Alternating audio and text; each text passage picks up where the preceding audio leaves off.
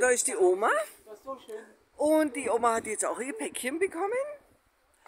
Ihr Weihnachtspäckchen. Und jetzt habe ich gerade mit den wunderbaren Pflegern hier gesprochen. Gleich drei standen oben auf dem Balkon und haben eine geraucht. Und dann hatten wir das äh, kurz geklärt mit der Oma.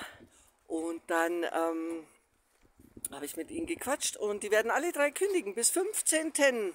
haben sie beim Caritas Altenheim das Ultimatum, sich impfen zu lassen. Und sie werden sich alle nicht impfen lassen.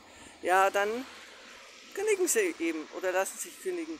So schaut's aus. Das Pflegepersonal wird verschwinden.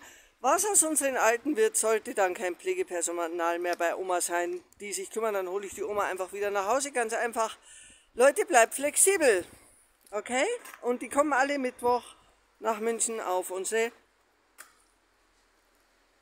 Kundgebung, die noch aussteht. Das KVR darf sich immer noch überlegen, ob es zusagen möchte.